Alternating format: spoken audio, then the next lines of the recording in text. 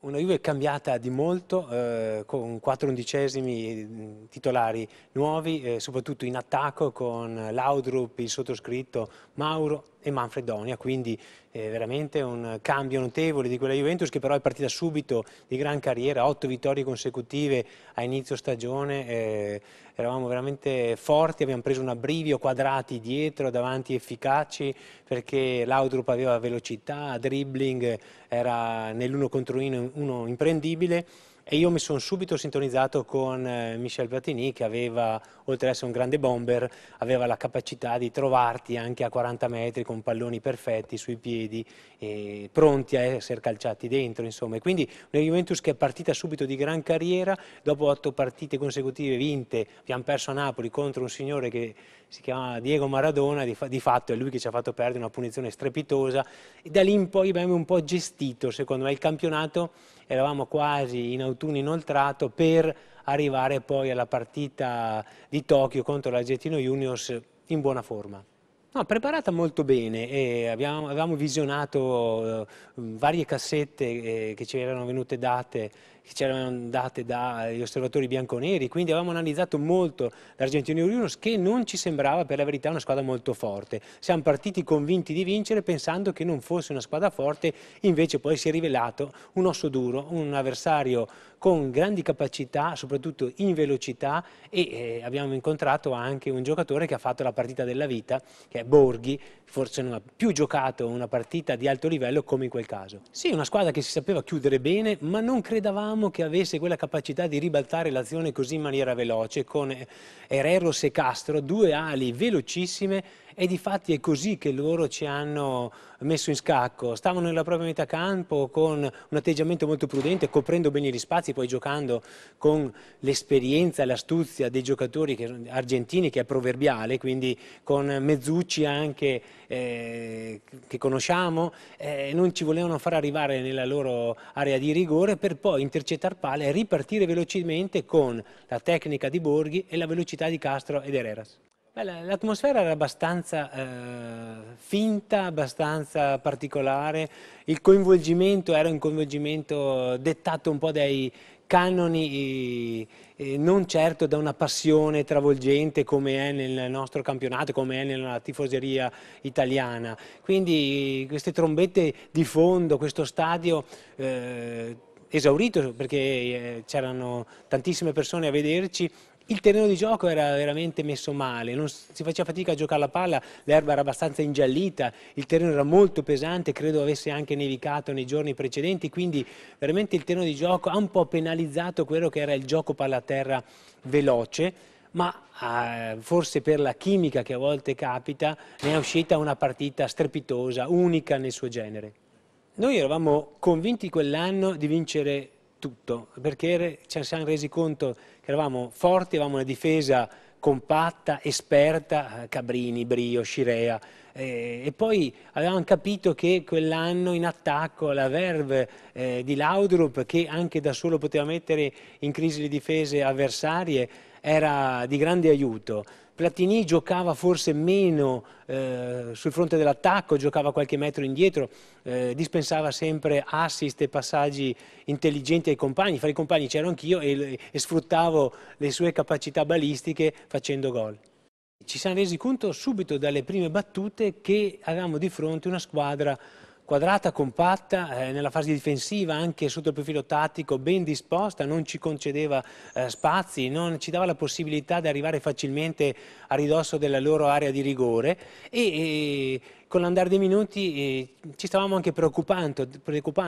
Devo dire che poi quando si è infortunato Gaetano Cirea, che era eh, il mio giocatore preferito bianconero, il mio caro amico, la persona con la quale eh, andavo maggiormente d'accordo e che era il nostro baluardo difensivo perché sapeva interrompere le difese, eh, gli attacchi avversari, ma sapeva anche poi far ripartire l'azione velocemente perché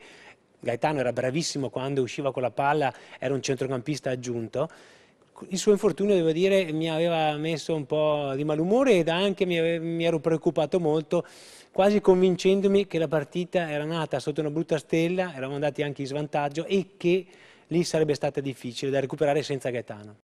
Il terreno di gioco mi ha un po' condizionato, Michele ha cambiato gioco, un calcio da eh, lungo di 35 metri, io ho stoppato palla molto bene, ero in posizione regolare, mi stavo avvicinando al portiere avversario, il pallone rimbalzava in uno strano modo, aspettavo il momento propizio per battere a rete, ho sentito da dietro tirare proprio per la maglia, il mio marcatore lì era in ritardo, ha cercato anche di colpirmi eh, un po' sui piedi, quando ho sentito questo sono andato a terra il calcio di rigore mi sembra fosse abbastanza limpido e solare, sicuro che Michel l'avrebbe messa dentro e l'ha messa dentro. Avevamo recuperato appunto con il rigore di Platini e lì eh, ci eravamo rinforzati sotto il profilo del morale, la partita era stata rimessa in, eh, sui binari eh, giusti, potevamo riprendere il eh, discorso fiduciosi, mentre poi quel gol eh, ci aveva, non dico tagliato le gambe, ma ci ha dato eh, un dei problemi notevoli. E solo è grazie secondo me a una prodezza di Laudrup un, che è stato un giocatore strepitoso, unico anche lui, forse in quella fase non era ancora maturo come poi eh, lo ha dimostrato al Real Madrid e al Barcellona, però era capace di giocate eh, in virtù delle sue qualità che erano quelle di avere delle leve corte, della rapidità, della tecnica, lì ha dribblato il portiere in un campo fangosissimo, gibboso, dove era veramente difficile controllare il pallone, era andato forse anche troppo in laterale, quasi sul fondo, e non, ho ben capito poi che tipo di effetto sia riuscito a dare alla palla, fatto sta che quando ho visto il pallone dentro lì è esplosa la gioia e da lì, secondo me, ci siamo veramente convinti di solito chi rimonta, chi è in rimonta e va ai rigori vince. Lì poi quando poi abbiamo pareggiato mm, mm la fiducia è tornata il gol di Platini è stato un sunto di eleganza, di tecnica, di armonia perché ha fatto tutto con una naturalezza unica. Quando ha fatto gol è esploso anche lui di gioia come eh, non sempre faceva perché lui era abituato a fare tantissime reti e non sempre aveva una manifestazione di gioia, un entusiasmo, una, eh, una corsa proprio che lo ha portato poi a rendersi conto eh, del, eh, del, gol annullato ed è, eh, io ero in posizione irregolare per i metri di giudizio dell'epoca. Secondo le attuali regole il gol sarebbe stato regolare perché io non, non ero influente né sul tiro di Platini, non ero sulla linea della palla, non ero a ridosso del portiere, quindi ero in una zona eh, decentrata e quindi il gol adesso sarebbe stato valido. Beh, me l'ha fatto pesare, me l'ha fatto pesare tante volte, è un gol così che non entra negli annali, soprattutto in una partita epica per la Juventus perché era una coppa alla quale tutto il clan, tutto il popolo bianconero teneva particolarmente.